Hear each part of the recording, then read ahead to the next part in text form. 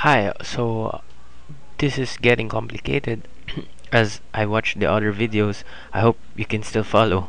Okay, so now what else do we need to exclude? I've just written it already here. Okay, let's just copy this. And why? Why these folders? Because I heard from Ubuntu forums, I read that you need really need to exclude this because these are systems system particular to your computer that um, not necessarily needed to be backed up okay?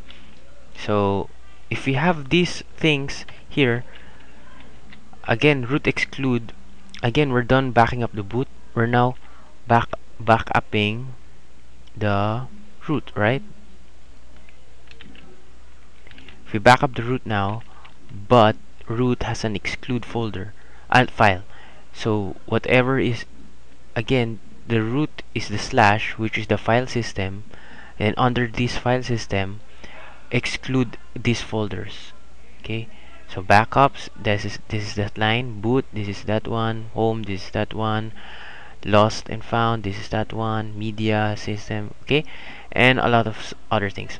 Also you can I think you can also exclude CD-ROM um, but I have, haven't researched that yet. But this will do already. Just make sure that you don't don't have CD-ROM in your in your uh, what do you call in your computer when you're when it's already 5 p.m. okay? So now that file system will get back up under backups day of the week and root this is simply found in file system backups um, what's that Friday and root okay? So that's gonna be where it's found. What else? What else? This one I don't think you need but I'm gonna make a separate tutorial on this one. This is for just my email okay? The office isn't very important the email. So I made um, I read a script online and there this is a script that says that you can back up your evolution email. Finally we have the home okay? We put here the home it's just um, uh, identical to the root because there's also an exclude home. Okay now what's exclude home? We go to backups again others and I'm just gonna be very fast because this is um, getting a lot of uh, 10 minutes long longer and longer. I really put here VirtualBox because I'm using a VirtualBox and sometimes virtual machines can be very huge so I exclude them and also GVFS I don't know what the hell this file is but uh, rsync produces error about this file.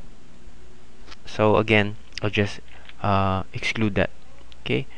So now that you have home exclude you have root exclude when these three are backed up you have a, you're you're gonna be betting that your system has been backed up and you it can die it can be stolen I know I mean can crash you know whatever can get flooded and you will have as long as you have the backup you can restore your system okay? These three just these three. Sometimes you don't even have to back up the boot because I just make it a separate partition.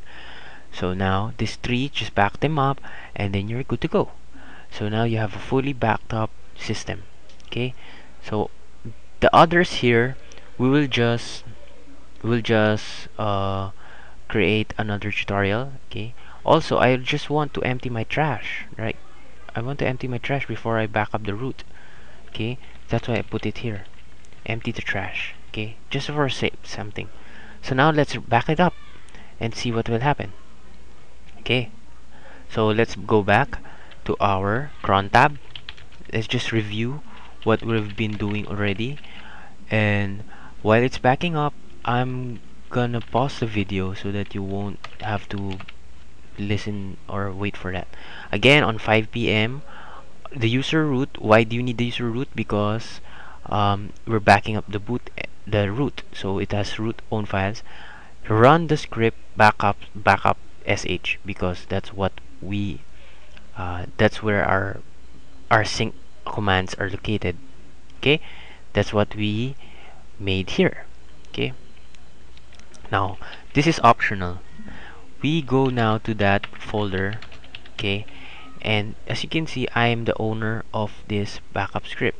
You can also make this the root owner okay? This is just optional.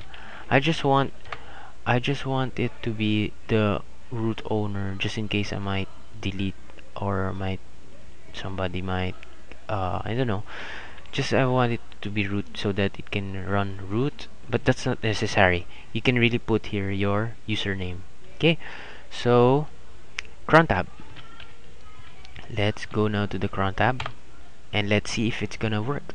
So what time is it now? 9:58 so let's put here uh, what is 21 right? 59 let's put 59 okay? If you um you can see later that it's going to when it turns to 59 okay this will be populated. Friday boot first of all and then the root and then others this home okay.